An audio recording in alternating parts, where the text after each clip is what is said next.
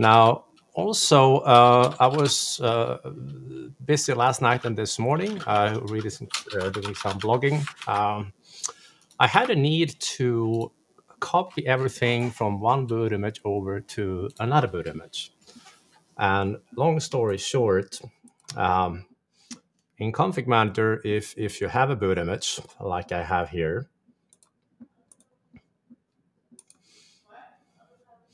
Uh, this is my uh, old boot image. Uh, and you have some drivers. If you only have like four of them, it, it's not too complicated to take a new boot image that you create and uh, make sure you have the same drivers there because you can just have them side by side and you can add and compare.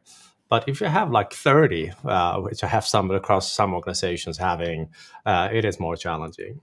So I wrote a little PowerShell script that I have here, uh, where you simply specify your source boot image, you specify your destination boot image. Uh, I have a bit of a logging function uh, where I use some stuff here.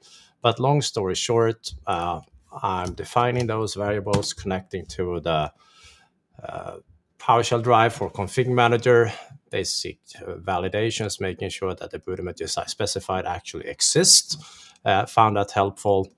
Uh, but then here I'm connecting to that object, and out of that object, I get a bunch of uh, drivers out of that mix. Um, and basically, then I'm looping through uh, each driver from the source uh, logging some details in the log file here, but then I'm adding them to the destination.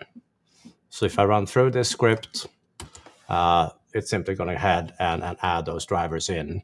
And it doesn't hurt if you run it multiple times. It's not going to add them like four times. It's just going to realize they were already there and, and life is good. But long story short, this script will duplicate drivers from one boot image over to another. And I tested this it also works if you have boot images with uh, different versions uh, on them. Because you probably know that if you go to a boot image that is matching your ADK installation folder or in installation on the server, on the provider, um, uh, you can see the drivers. But if you pick a boot image that doesn't match what you have, you, you cannot see the drivers, making it even harder to guess what you've added to them. Uh, but the PowerShell script found them. So it seems to happily ignore what the console prevents you from doing. So it worked just fine there. Uh, so that was my uh, morning there.